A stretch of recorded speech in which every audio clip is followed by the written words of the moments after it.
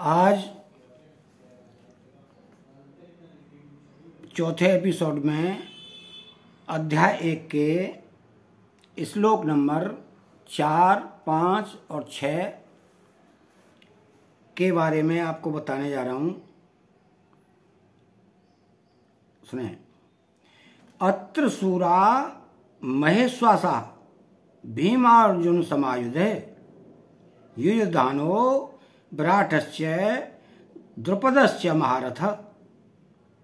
दृष्टकेतु चेकितान कासराजस्व वीरवान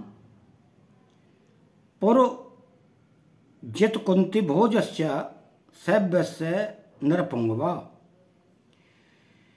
युधामन्युश्च विक्रांत उत्तमोजाजस्व वीरवान सौभद्रो द्रौपदेयाश्च सर्व एवं मारता।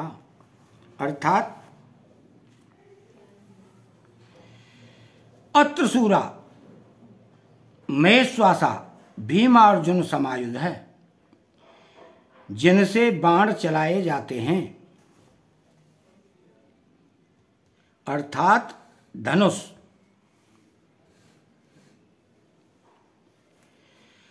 ऐसे बड़े बड़े धनुष जिनके पास हैं, वे सभी महेश्वास हैं। तात्पर्य है कि बड़े धनुषों पर बाण चढ़ाने एवं प्रत्यंचा खींचने में बहुत बल लगता है। ज़ोर से खींचकर छोड़ा गया बाण विशेष मार करता है। ऐसे बड़े बड़े धनुष पास में होने के कारण ये सभी अद्भुत बलवान और सूरवीर हैं। ये मामूली योद्धा नहीं है। युद्ध में ये भीम और अर्जुन के समान हैं। अर्थात बल में ये भीम के समान और अस्त्र शस्त्र की कला में ये अर्जुन के समान हैं। युयुधान यानी कि सात्विकी ने अर्जुन से अस्त्र शस्त्र की विद्या सीखी थी। इसलिए भगवान श्री कृष्ण के द्वारा दुर्योधन को नारायणी सेना देने पर भी वह कृतज्ञ होकर अर्जुन के पक्ष में ही रहा। दुर्योधन पे के पक्ष में नहीं गया। द्रोणाचार्य के मन में अर्जुन के प्रति द्वेष भाव पैदा करने के लिए दुर्योधन महारथियों में सबसे पहले अर्जुन के शिष्य युयुधान का नाम लेते हैं। तात्पर्य है कि इस अर्जुन को तो देखिए, इसने आपसे ही अस्त्र चलाना सीखा और आपने अर्जुन को यह वरदान भी दिया कि संसार में तुम्हारे समान और कोई धनुर्धर न होगा। ऐसा प्रयत्न करूँगा। इस तरह आपने तो अपने शिष्य अर्जुन पर इतना स्नेह रखा है, पर वह कृतज्ञ होकर आप, आपके विपक्ष में लड़ने के लिए खड़ा है। जबकि अर्जुन शिष्य का युधान उसी के पक्ष में खड़ा है। युधान महाभारत के युद्ध में न मरकर यादवों के आपसी युद्ध में मरे थे। विराटस्य। जिनके कारण हमारे पक्ष का वीर सुशर्मा अपना अपमानित किया गया, आपको सम्मोहन अस्त्र से मोहित होना पड़ा और हम लोगों को भी, जिसकी गाय छोड़कर युद्ध से भागना पड़ा वह राजा विराट आपके प्रतिपक्ष में खड़ा है। राजा विराट के साथ द्रोणाचार्य का ऐसा कोई वैरभाव या द्वेषभाव नहीं था। परंतु दुर्योधन यह समझता है कि अगर युयुधान के बाद मैं द्रुपद का नाम लूँ तो द्रोणाचार्य के मन में यह भाव आ सकता है कि दुर्योधन पांडवों के विरोध में मेरे को उकसाकर युद्ध के लिए विशेषता से प्रेरणा कर रहा है। तथा मेरे मन में पांडवों के प्रति वैर भाव पैदा कर रहा है। इसलिए दुर्योधन द्रुपद के नाम से पहले विराट का नाम लेता है, जिसे द्रोणाचार्य मेरी चालाकी न समझ सकें और विशेषता से युद्ध करें। राजा विराट, उत्तर, श्वेत और शंख नामक तीनों पुत्रों सहित महाभारत के युद्ध में मारे गए थे। द्रुपद से महारथ। आपने तो द्रुपद को पहले की मित्रता याद दिलाई, पर उसने सभा में यह कहकर आपका अपमान किया कि मैं राजा हूँ और तुम भिक्षुक हो।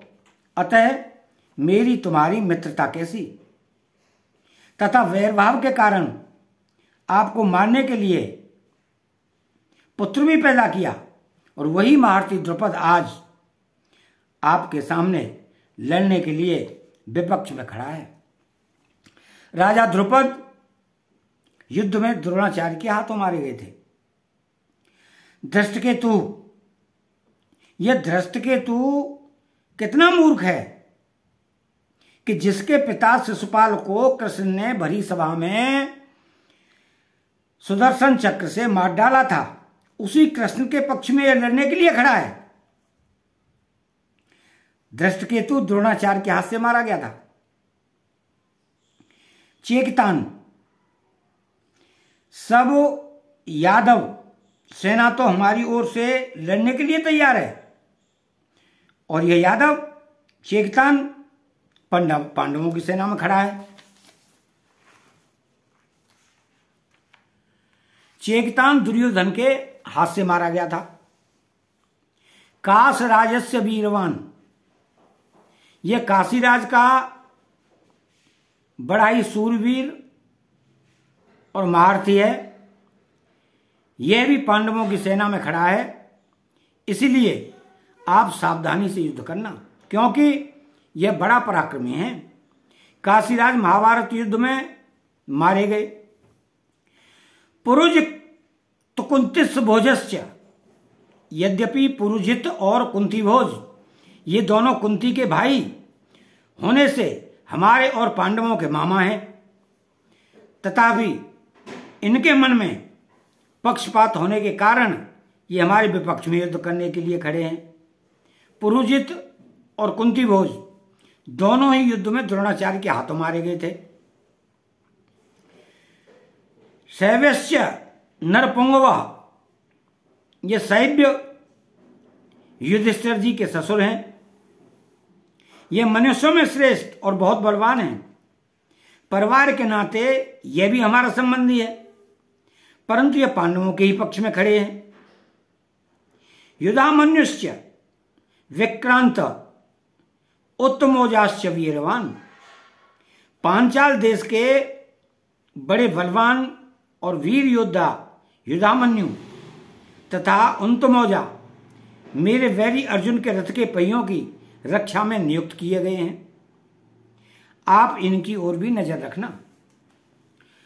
रात में सोते हुए दोनों को अश्वस्थामा ने मार डाला था। सौभद्र, यह कृष्ण की बहन सुभद्रा का पुत्र अभिमन्यु है। यह बहुत सूरवीर है। इसने गर्भ में ही चक्रव्यूह भेजन की विद्या सीखी थी। अतः चक्रव्यूह रचना के समय, आप इसका ख्याल रखना। युद्ध में दुशासन के पुत्र द्वारा अन्याय पूर्वक सिर पर गदा का प्रहार करने से अभिमन्यु मारे गए थे। द्रौपदयाश्च युधिष्ठर, भीम, अर्जुन, नकुल और सहदेव, इन पाँचों के द्वारा द्रौपदी के गर्भ से क्रमशः प्रतिविंध्य, सुतसोम श्रुतकर्मा सतानिक और श्रुतसेन पैदा हुए हैं। इन पाँचों को आप देख लीजिए। द्रौपदी ने भरी सभा में मेरी हँसी उड़ाकर मेरे हृदय को जलाया है। उसी के इन पाँचों पुत्रों को युद्ध में मारकर आप अपना बदला चुकाएँ। सर्व एम महारथा, ये सबके सब महारथी हैं जो शास्त्र और विद्या दोनों में प्रवीण हैं और युद्ध में अकेले ही एक साथ दस हज़ार धनुर्धारी योद्धाओं का संचालन कर सकता है। उस वीर पुरुष को महारथी कहते हैं। ऐसे बहुत से महारथी पांडवों की सेना में हैं। दोस्तों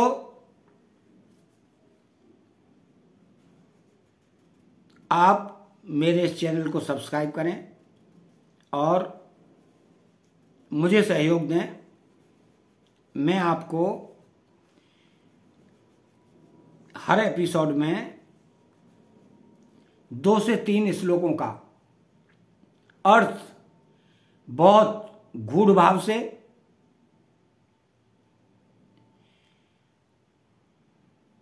बताऊँगा। आप ध्यान देकर प्रेम से सुने। आपका बहुत बहुत धन्यवाद। और एक बार और आप मेरे चैनल को सब्सक्राइब करें। जय श्री कृष्णा।